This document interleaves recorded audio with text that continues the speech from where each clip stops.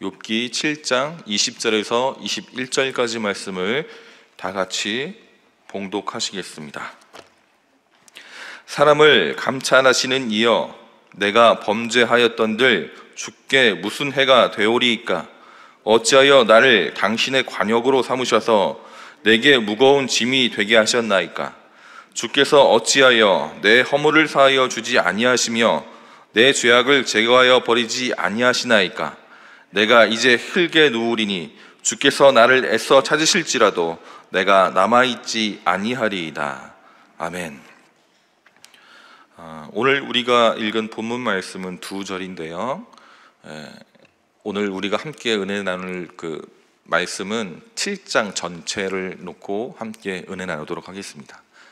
계속 저랑 한절 한 절 읽으시면서 네, 말씀을 은혜를 나눌 테니까요. 여러분 그 7장을 다 펼쳐 놓으시고 1절부터 함께 읽도록 할 텐데요. 오늘 본문은요.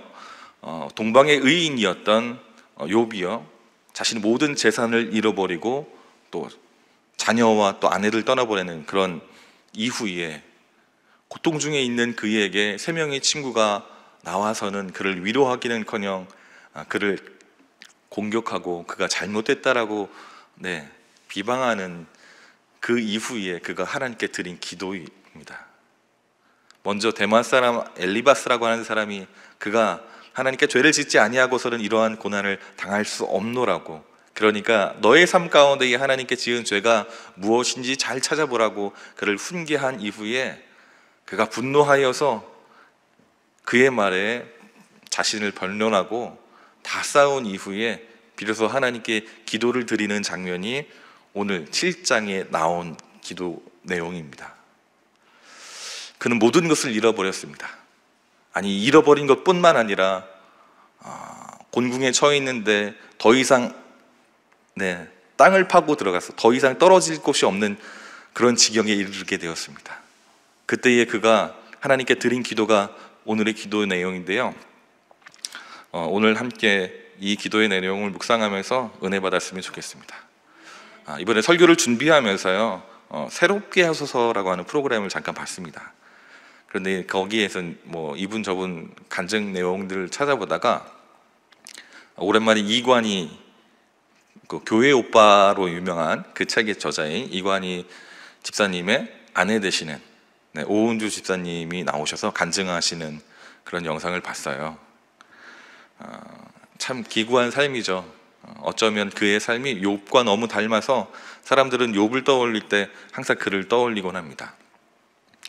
어, 젖먹이 딸을 두고 아빠가 대장암에 걸리죠. 사기를 발견하게 됩니다. 그런데 아들이 그렇게 죽어가는 모습을 견디지 못한 어머니가 스스로 자살을 하게 되고요. 어, 거기에 엎친 데 젖힌 격으로 아내마저 혈액, 혈액암에 걸리게 됩니다. 아, 더 이상 비참해질 수 없는 상황일 것 같습니다. 그런데 이 둘이 손을 못 잡고 하나님께 기도하면서 어, 투병을 하기 시작합니다. 그래서 어느 날은 이 오윤주 집사님이 남편 되시는 이간희 집사님께 이렇게 얘기하대요. 오빠, 아, 우리도 욕과 같이 이 고난의 시간을 잘 견뎌내고 나면 하나님께서 우리도 건강을 회복시켜 주실 것이고 우리에게 갑절의 은혜를 주실 거야 라고 어, 희망에 찬 마음으로 감사함으로 남편한테 고백을 했대요. 그러면 언제나 다가오는 언제나 돌아오는 그런 남편의 말은 이런 거였답니다. 어, 은주야, 너는 욥기를 잘못 해석하고 있는 거야. 욥의 진수는 결과가 아니라 과정에 있는 거야. 과정 속에서 하나님 앞에서 얼마나 우리가 더 변화되고 단련되는지 하나님은 그것을 보실 거야. 라고 얘기했대요. 참 매정합니다. 그렇죠? 어, 욥의 진수가 거기에 있다 한들 지금 둘 다 투병하는 중에 어린 딸 아이를 놓고 둘 다 죽을 수 있는 병을 투병하는 중에 아내가 희망을 바라보기 위해서 그런 얘기를 했다면 한 번쯤은 어 그래 우리 하나님께서 지켜주시겠지? 하나님께서 회복시켜 주시겠지? 라고 위로할 수 있어야 되는데 아 정말 단호박같이 아내의 칼 아내의 말을 칼로 잘라버리고 요배 진술은 그것이 아니라고 우리가 하나님 앞에 어떻게 변해가고 단련되어져 가는지 거기에 있다라고 고백하는 모습을 어, 했다라고 그 간증을 들으면서요 어떻게 이렇게 살아갈 수 있을까 오은주 집사님 이렇게 얘기하더라고요. 단 한 번도 그가 하나님께 원망과 불평을 하는 것을 본 적이 없다라고 들었습니다. 그렇게 절망의 순간에 그렇게 비참하고 이제 죽음을 기다려야 되는 순간에 젖먹이 딸을 남겨두고 어쩌면 아내가마저도 어, 함께 죽음에 이르게 될 수밖에 없는 상황. 어머니는 자살에 더 이상 비참할 수 없을 것 같은 그 상황에도 어떻게 하나님을 원망하고 불평하지 아니할 수 있을까요? 오늘 우리에게도 그러한 사람이 앞에 있습니다. 오늘 본문에 나오는 주인공인 바로 욥인데요. 어, 오늘 아, 오늘 그가 하나님께 드린 기도를 통해 함께 은혜 나눴으면 좋겠습니다. 믿음은 결국 고난이란 테스트를 통해서 진짜와 가짜가 결정나는 것 같습니다. 그리고 그 믿음의 분량을 아, 확인할 수 있게 되는 것 같습니다. 아, 믿음은 고난이라는 터널을 통해야 비로소 성장할 수 있다고들 얘기합니다. 그런데요, 아직 고난이 우리의 현실이 되기 전까지 타인의 고난을 바라보면서 고난 중에 아, 실망하지 말고 하나님을 의지해야 한다라고는 얘기할 수 있습니다. 그런데 그 고난이 더 이상 타인의 고난이 아니라 나의 현실이 되었을 때 우리는 그렇게 이전과 같이 담담하게 고백할 수 없게 됩니다.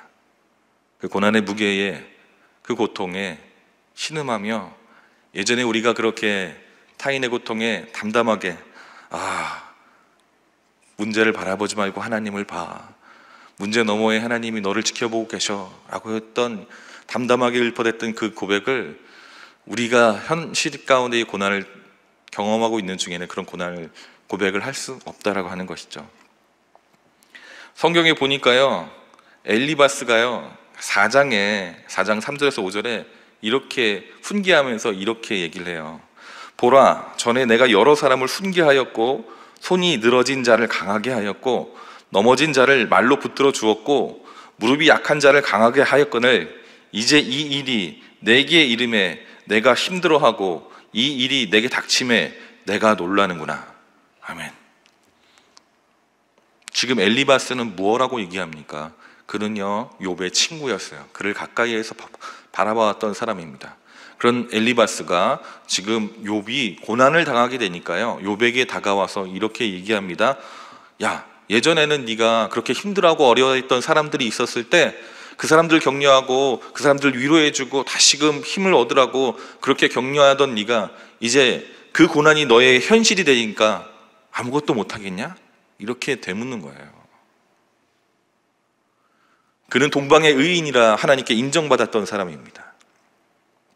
사단에게 그 믿음을 하나님께서 자랑할 만큼 그는 신앙에 있어서 누구보다 뒤지지 않은 신앙을 가진 자였어요.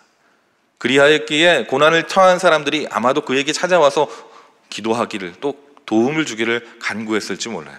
그때마다 그는 위기에 고난에 빠져 있는 그들을 위해 권면하고 그들 격려했노라고 엘리바스는 예전 일을 들춰내는 거예요. 그런데 정작 그가 고난을 닥치게 되니까 그 고난을 타인의 고난을 자신의 현실로 받아들이게 되니까 어떻게 됐다고요? 그가요 당황했다라고요. 힘들어 했다라고요. 내게 닥치니까 네가 놀라는구나라고 이렇게 고백하고 있다라는 것이죠. 요백에도 고난은 쉬운 일이 아니었습니다. 우리의 삶에도 분명 우리에게 닥친 고난이 우리를 힘들게 하고 어렵게 했을 것입니다. 그러면 이 모든 시간을 몸으로 견뎌내고 있는 욥은 하나님께 어떻게 기도하고 있을까요? 1절부터 함께 살펴보도록 하겠습니다. 7장 1절입니다. 이 땅에 사는 인생에게 힘든 노동이 있지 아니하겠느냐? 그의 날이 품꾼과 날과 같, 아, 품꾼의 날과 같지 않겠느냐? 네, 그는 지금 임 땅에 힘든 노동이 있고요. 품꾼의 날과 같지 않겠느냐라고 얘기하는데요. 개혁 성경에 보면 힘든 노동이라고 하지 않고 세상에 있는 인생에 전쟁이 있지 아니하냐라고 얘기합니다. 그러니까 쉽게 설명드리면 이렇습니다. 우리는 지금 전쟁과 같은 삶을 살아가고 있습니다. 지금 이 전쟁에 나가 있는 군사와 품꾼, 품꾼은요, 옛날 과부와 노, 그 노예, 고아, 뭐 이런 사람들과 같이 가장 미천하고 도움을 받아야 되는 사람으로 평가받던 사람입니다. 그러니까 지금 전투에 나간 군사와 품꾼은 어떤 동일한 어, 동, 어, 공통점이 있냐면요. 자신의 삶을 자신이 결정할 수 없는 거예요. 수동적으로 시키는 일을 다 해야 되는 거예요. 품꾼은요, 자신에게 맡겨진 일을 다 해야지만 품삯을 얻어서 하루를 더 연명할 수 있는 것이고, 군사는요, 열심히 사력을 다해 죽기 살기로 싸워야지만 하루를 살아남을 수 있는 거예요. 그러니까 오늘을 살아가는 우리가 이렇게 전쟁과 같은 삶을 아기 다툼과 같은 삶을 살아내야 되는다. 나의 삶이 그렇게 전쟁과 같은 품꾼과 같은 삶을 살아가고 있노라고 그는 고백하는 것입니다. 그런데 이절에 보니까요, 종은 저녁 그늘을 몹시 바라고 품꾼은 그 싹을 기다리더니 종은요 하루 종일 자신에게 떨어질 그 일감을 다 완수하고 날이 새어야지만 비로소 휴식을 취할 수 있는 것이죠. 품꾼도 자신이 먹고 쓰기 위해서 하루를 버텨내기 위해서 그 품삯을 받아야지만 삶을 연명할 수 있는 것처럼 종이 저녁을 바라고 품꾼이 그 싹을 기다리는 것처럼 그에게 저녁이 다가오기를 바라고 있다는 거예요. 쉼이 이와 같이 내게 여러 돌 동안 3절에 어, 이와 같이 내가 여러 달째 고통을 받으니 고달픈 밤이 내게 작정되었구나. 지금 여러 달 동안 지가 고통을 받고 있다라고 본인이 얘기하고 있습니다. 이미 이 고통이요. 한참이 시간이 지났는데 언제 끝날지 모르고 점점 자신이 죽어가고 있다는 것만 알고 있는 상황인 거예요. 그런데요, 좀 전에 종은요, 저녁을 기다린다라고 얘기했잖아요. 그런데요, 3절에 보니까요, 고달픈 밤이 내게 작정되었구나라고 얘기합니다.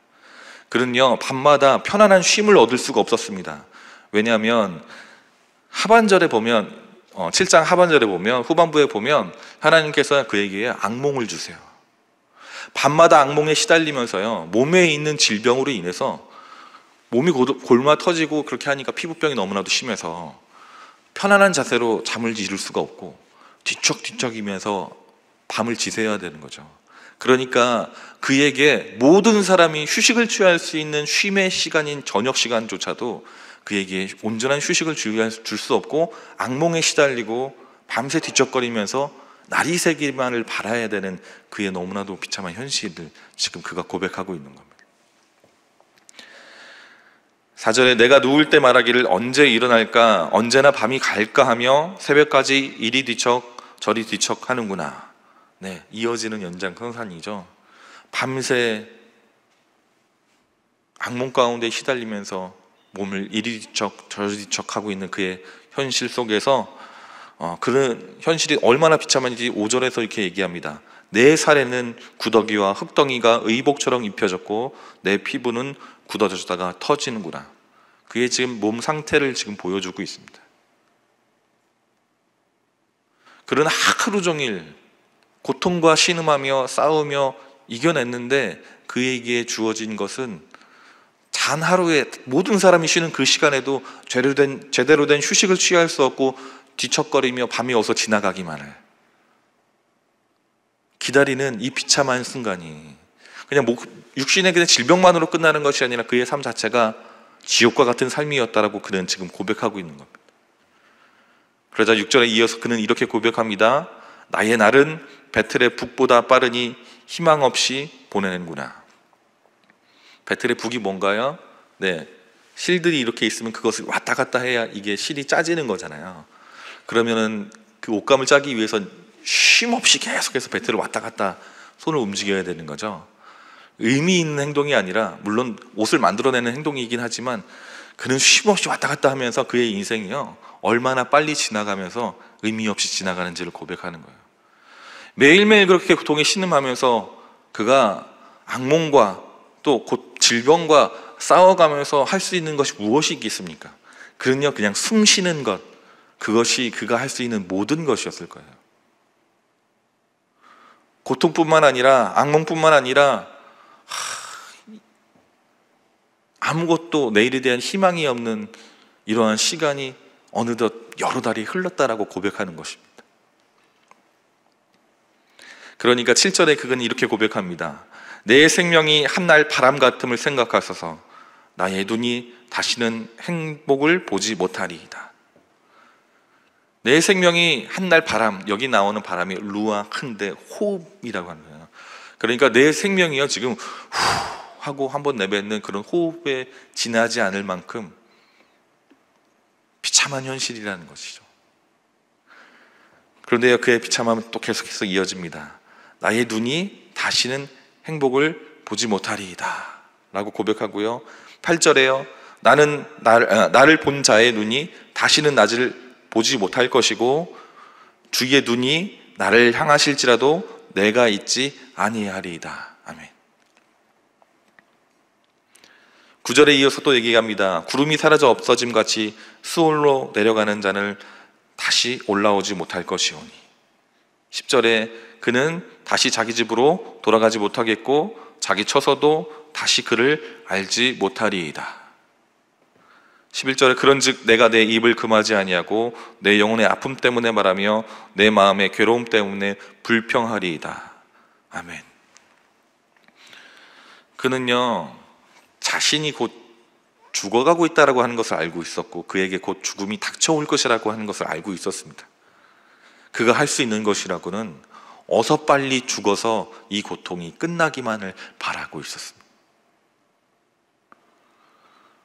여러분 모든 것을 다 잃고 가족도 잃고 재산도 잃고 질병을 얻은 것 뿐만 아니라 그에게 남은 삶이라고는 죽음을 바라는 어서 빨리 죽기만을 바라는 그러한 삶이 그에게 남은 순간에 그가 어떠한 기도를 할 수 있을까요? 삶에 아무런 희망이 또 내일이 보이지 아니하는 언제 죽어도 이상하지 아니한 그때 그가 올릴 수 있는 기도를 지금 우리가 함께 나누고 있는 것입니다.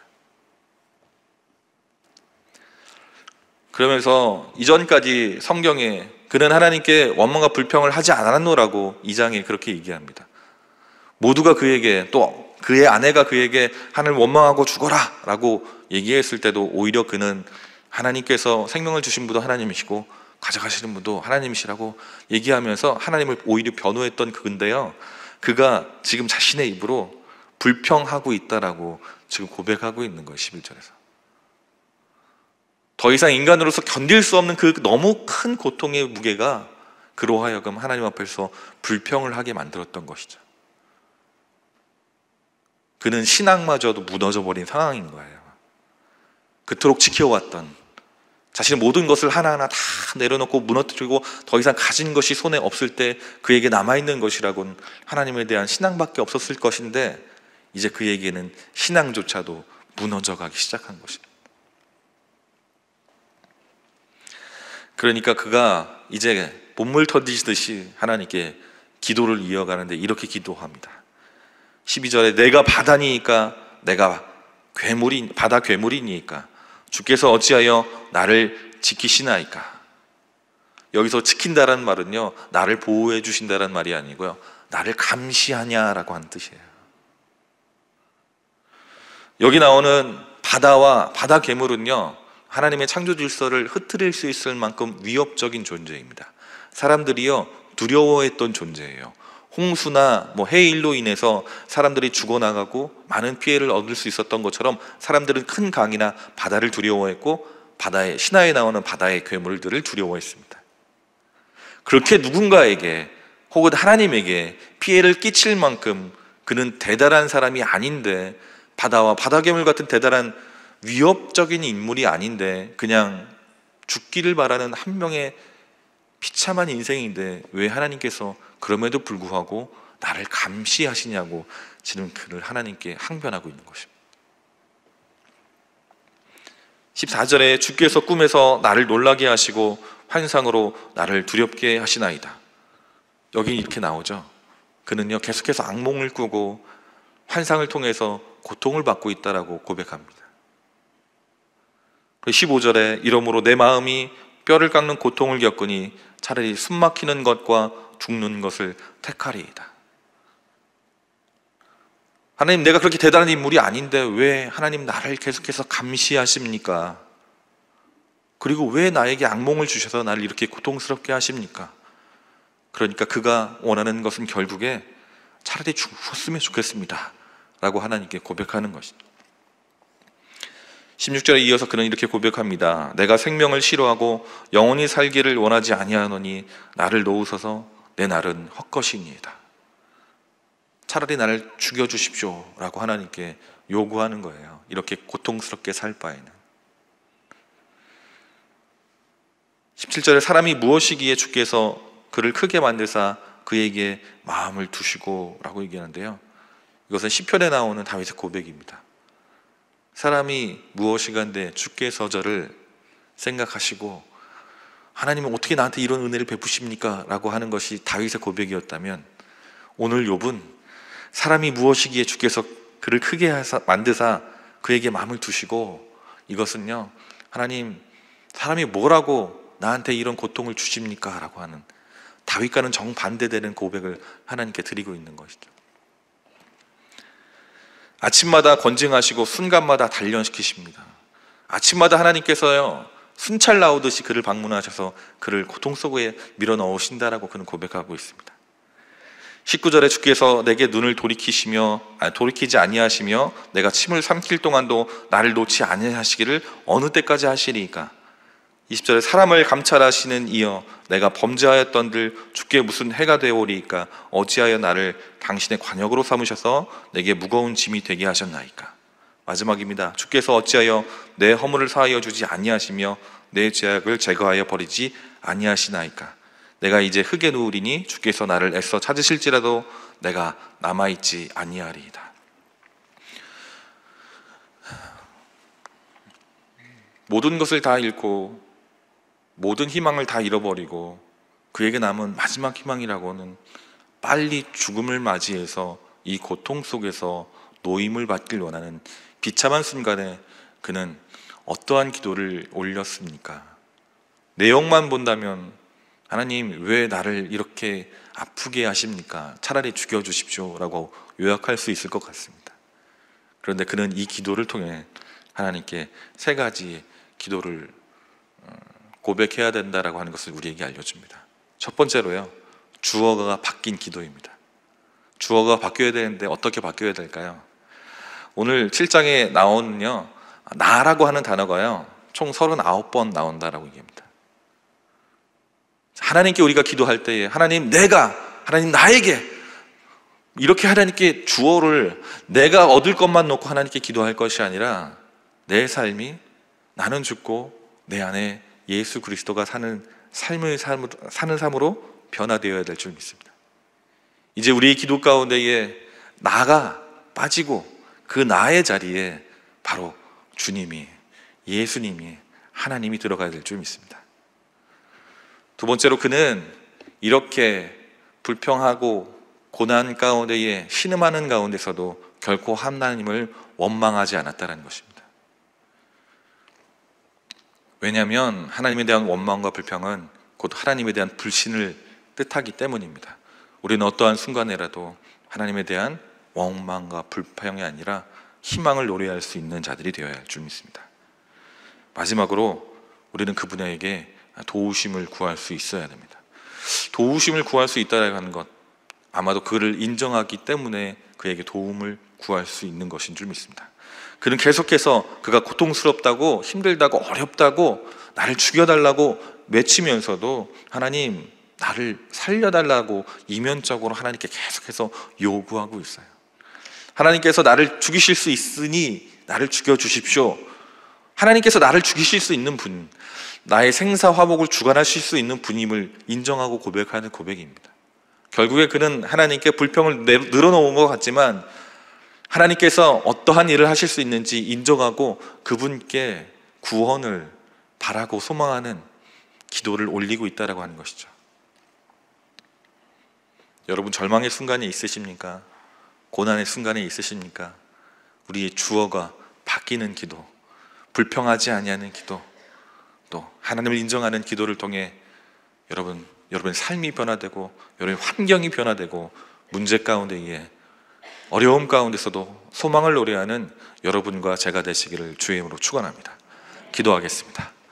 사랑해 주님 감사합니다. 하나님 모든 것을 다 잃어버리고 내일에 대한 희망조차 없는 욥이 하나님께 드리는 기도를 통해 오늘 우리가 또 한 번 우리의 기도를 점검케 하시니 감사합니다.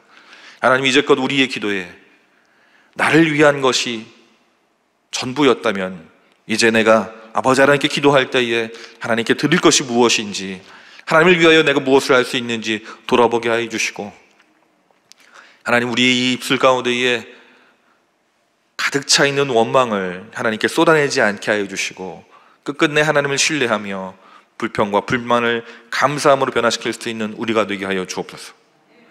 하나님, 우리가 늘 아버지 하나님 고난 중에라도 그 고난을 바꾸시고 고난을 환란을 기쁨과 평안으로 바뀌실 수 있는 분이 하나님의 심을 고백하며 언제나 고난 중에라도 희망과 소망을 잃지 아니하고 당신께 기도하며 나아갈 수 있는 우리가 되게 하여 주옵소서.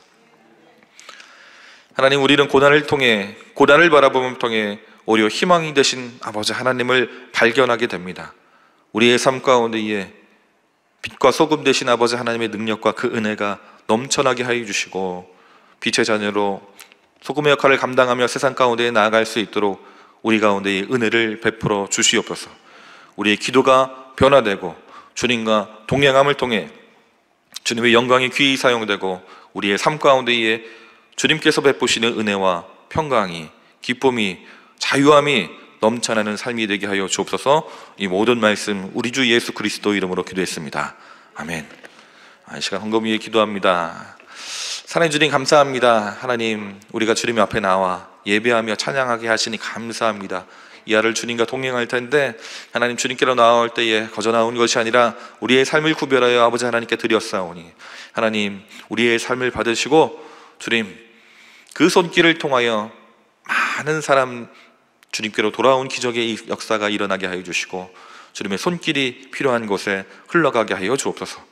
오늘 주님과 동행할 이 하루 가운데에 주님의 살아계심과 역사하심 경험하는 귀한 하루 될 수 있도록 도와주실 줄 믿사오며 이 모든 말씀 우리 주 예수 그리스도 이름으로 기도했습니다. 아멘. 주기도로 예배 마치도록 하겠습니다. 하늘에 계신 우리 아버지 이름이 거룩히 여김을 받으시오며 나라가 임하시오며 뜻이 하늘에서 이루어진 것 같이 땅에서도 이루어지이다. 오늘 우리에게 일용할 양식을 주시옵고 우리가 우리에게 죄 지은 자를 사하여 준 것 같이 우리 죄를 사하여 주시옵고 우리를 심에 들게 하지 마시옵고 다만 악에서 구하시옵소서. 나라와 권세와 영광이 아버지께 영원히 있사옵나이다. 아멘. 할렐루야. 하나님께 영광의 박수 돌리겠습니다. 네, 이 시간 여러분 어, 나라와 민족을 위해서 또 여의도 순복음 교회와 우리 여의도 순복음 분당 교회를 위해서 이영훈 대표 총회장님과 우리 교회를 이끌어 나가시는 황선 담임 목사님 사역을 위해서 그리고 가지고 나온 기도의 제목을 놓고 주 이름 세 번 외치고 함께 기도합니다. 주여, 주여, 주여.